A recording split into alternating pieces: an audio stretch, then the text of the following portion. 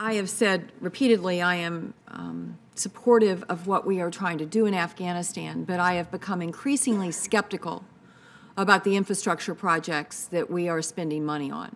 While not unprecedented in our history, uh, it is very unusual for our military to be building major infrastructure while we're engaged in a fight on the ground.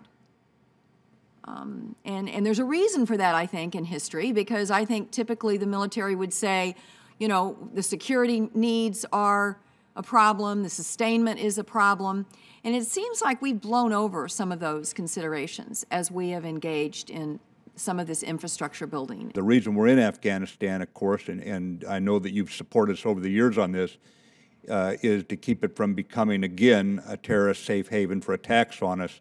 And part of what we're trying to do here is take a society that was turned upside down 30 years ago and bring it back into a, a way forward that at least provides the most basic services. I looked at some of the materials that you, that, that, that you all provided my office and on sustainment um, on the roads. Uh, right now, we've got hundreds of millions of dollars we're putting into road and bridge projects, which, by the way, as an aside, I will say we desperately need in this country. And they're not going to get blown up while we build them. And we're not going to have to pay off the bad guys to create the security in order to build them. Um, th there is no revenue in place right now to maintain or support these roads after we leave.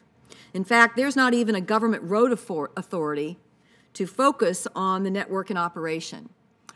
Now, there's talk in the briefing that we received that, well, we think that they could. Why aren't we requiring that at least the government of Afghanistan, I mean, to me, it has a lot more credibility that somehow the government is delivering these services, which ultimately is the theory behind COIN, right? That we're trying to make the Afghanistan government look like it's a real government to the people of Afghanistan so they like them better than the Taliban. Why aren't we requiring that the government do that first? that the government provide some kind of gas taxes or some kind of revenue that would that would maintain these roads or at least a government-wide authority that would allow them to operate uh, a systems of, of roads and bridges in Afghanistan before we put hundreds of millions of dollars of American taxpayer money um, into these projects. They're very good questions. Uh, I won't tell you I have all the answers, but I, we are consistent with your view right now in everything we're doing. If they cannot sustain it, we're not going to build it.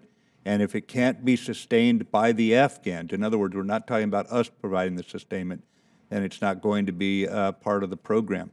I don't From, want anyone to misinterpret yeah. my um, uh, willingness to pull some of this money out and put it in the Highway Trust Fund yeah. in this country as not supporting what our military is trying to do there. Mm -hmm. But you know, as we are transitioning out, it's almost like the two views are not matching up here. That we're continuing, and you know what the problem is, General, honestly? We can do this stuff. Yeah. Afghanistan can't. And so our military, let me give you all credit as leaders of an amazing organization. You tell the people under you that we want to do something, you know what? They're going to do it.